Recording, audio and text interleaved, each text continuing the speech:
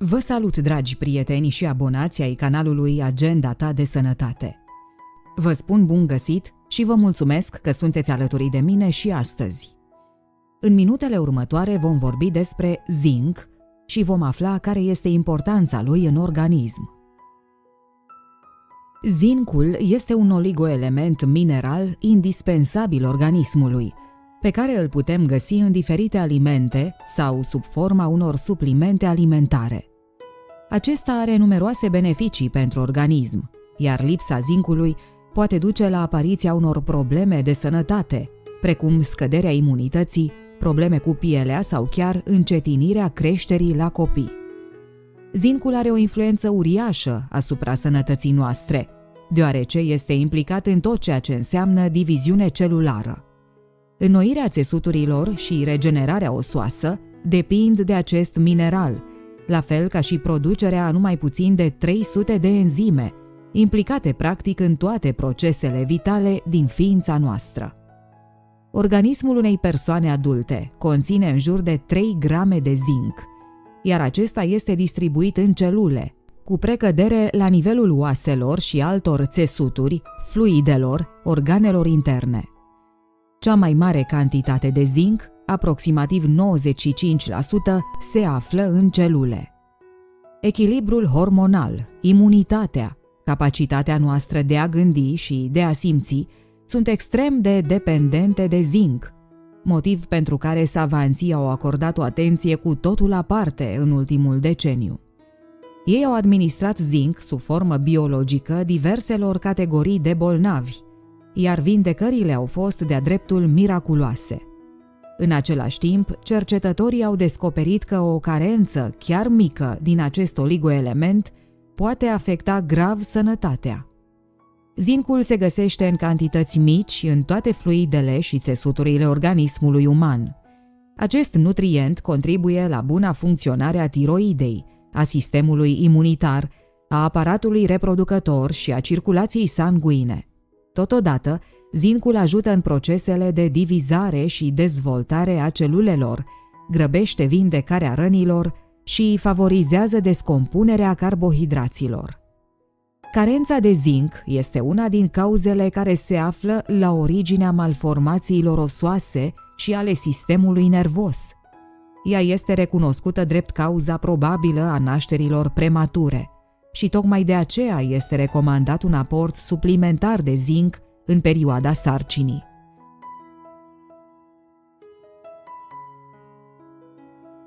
De altfel, orice reparare sau cicatrizare a țesuturilor necesită un regim alimentar bogat în zinc pentru a permite sinteza proteinelor celulare.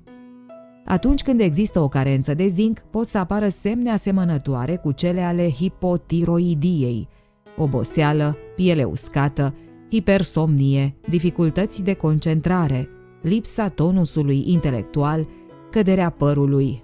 Carența de proteine este asociată cu carența de zinc.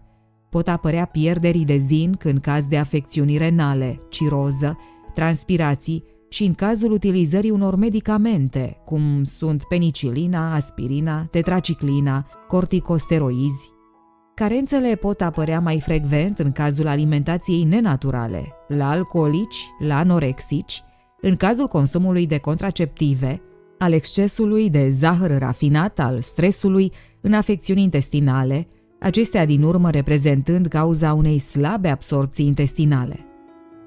Printre beneficiile zincului pentru sănătate se numără reglarea sistemului imunitar – Conform Jurnalului European pentru Imunologie, organismul are nevoie de zinc ca să activeze celulele T.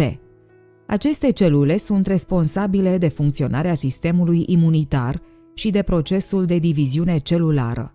Un nivel scăzut de zinc poate favoriza contractarea infecțiilor, printre care și pneumonia. Zincul este recomandat ca adjuvant în ameliorarea simptomelor răcelii, cu scopul de a reduce inflamațiile de la nivelul mucoasei nazale. Rol important în procesele celulare. Celulele au nevoie de zinc ca să funcționeze optim. Procesul de divizare a celulelor se numește mitoză și este important pentru dezvoltarea și funcționarea optimă a organismului. În lipsa zincului, procesul de diviziune celulară s-ar stopa. Protejează celulele împotriva stresului oxidativ. Zincul are proprietăți antioxidante și, împreună cu cuprul, protejează celulele împotriva radicalilor liberi, substanțe care accelerează procesul de îmbătrânire și favorizează apariția unor boli, precum bolile cardiovasculare. Ajută la menținerea fertilității. Zincul contribuie la procesul de ovulație în cazul femeilor și ajută la producerea de material seminal și testosteron în cazul bărbaților. Mobilizează vitamina A. Zincul este o componentă esențială care ajută la transportul vitaminei A în sânge. La rândul ei, vitamina A ajută la sinteza de rodopsină, un pigment fotoreceptor din retină care este necesar pentru o bună vedere.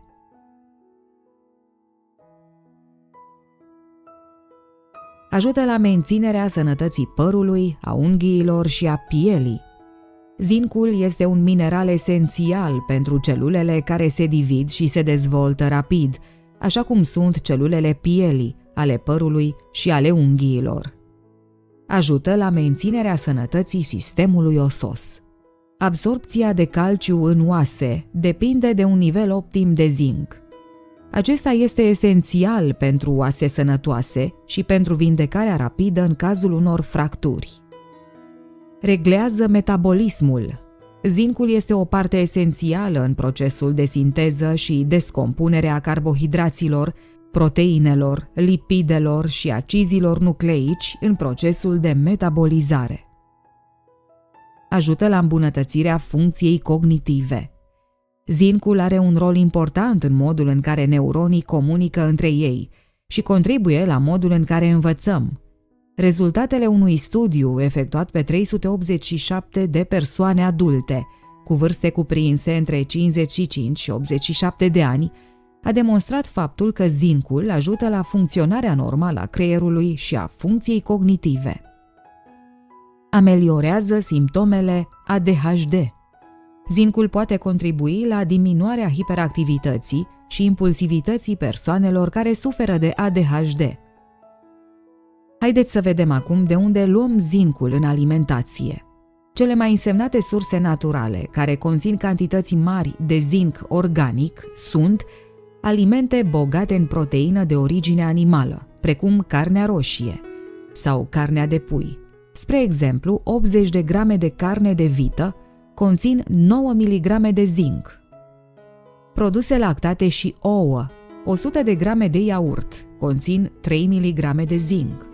Legume, brocoli, sfeclă roșie, ciuperci, cartofi, sparanghel, varză, morcovi, varză de Bruxelles, salată verde, dovleac, spanac, roșii, o porție de 100 de grame de brocoli fiert conține 4 mg de zinc.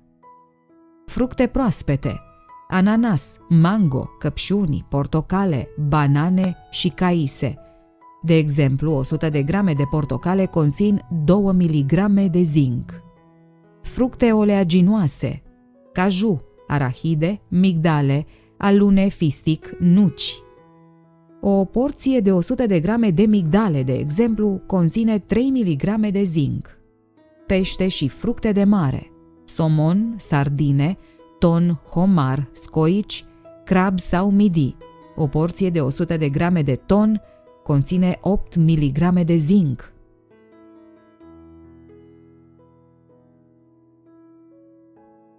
Alte surse de zinc sunt germenii de secară și de grâu, tărâțe de grâu, fulgi de ovăz, cereale integrale, leguminoase, precum soia, linte, năut, mazăre, fasole, drojdie de bere, brânză din lapte prins, gălbenuș de ou crud, crean, păpădie, semințe de floarea soarelui, borș și apă de mare.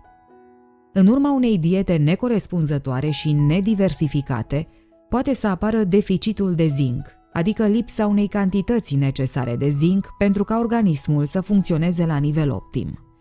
Totodată, pierderile de zinc pot să apară și în urma unor boli hepatice sau infecțioase, pe durata menstruației sau din cauza cancerului. Un nivel scăzut de zinc este observat și la persoanele care consumă constant alcool sau la persoanele în vârstă.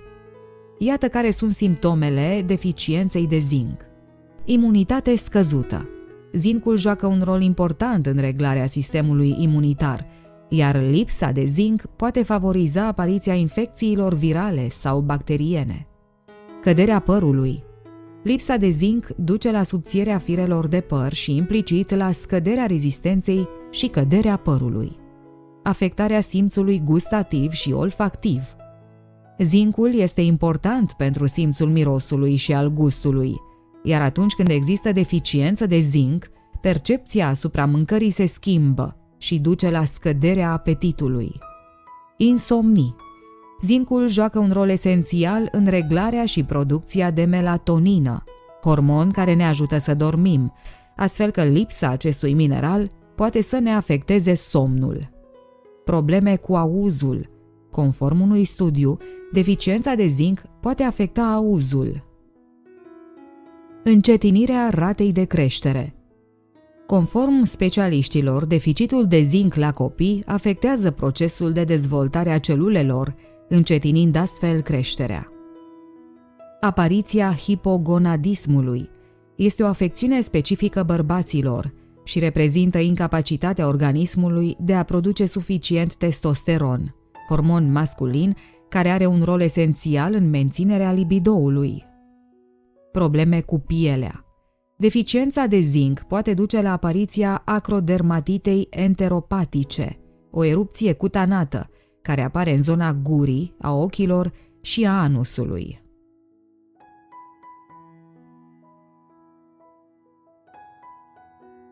Apariția AMD, degenerescența maculară asociată vârstei înaintate. Zincul este un factor important pentru funcționarea optimă a enzimelor de la nivelul ochilor. Lipsa zincului poate afecta acuitatea vizuală.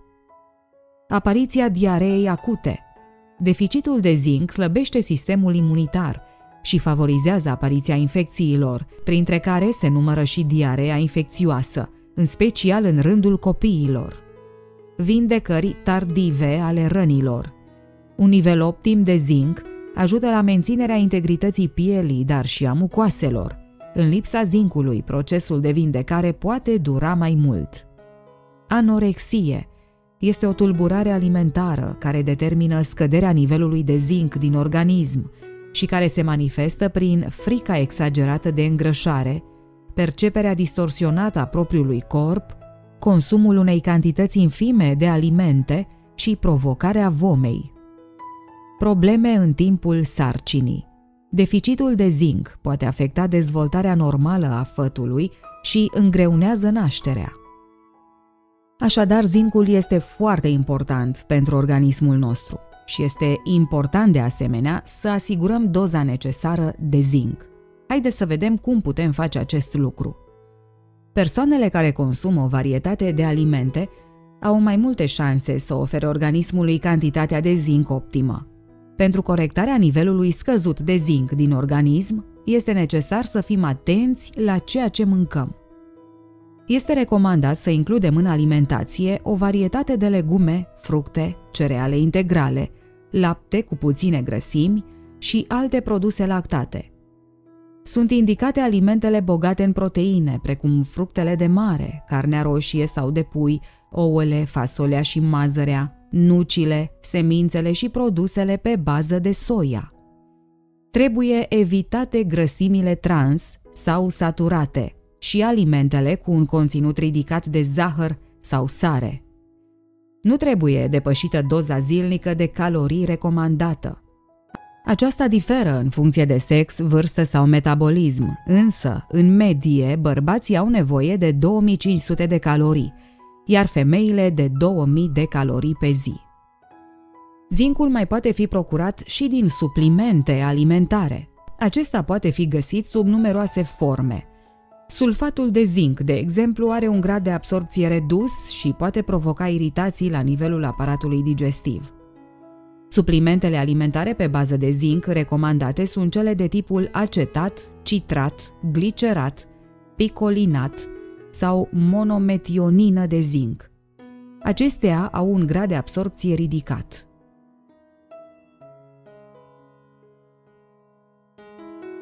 Suplimentele alimentare pot fi găsite sub formă de tablete, capsule, lichid sau sirop, combinat cu alte minerale și vitamine sau singur.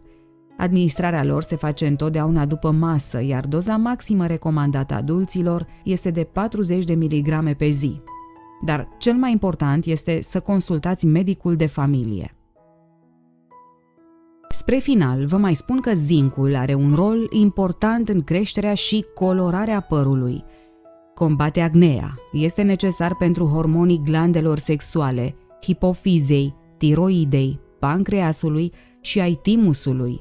Are efecte favorabile certe în caz de SIDA, ajută la fixarea calciului, intervine în echilibrul acidobazic al sângelui, susține funcțiile ficatului și îl protejează de toxine. Este antidiabetic, are un efect hipoglicemiant și stimulează producerea de insulină.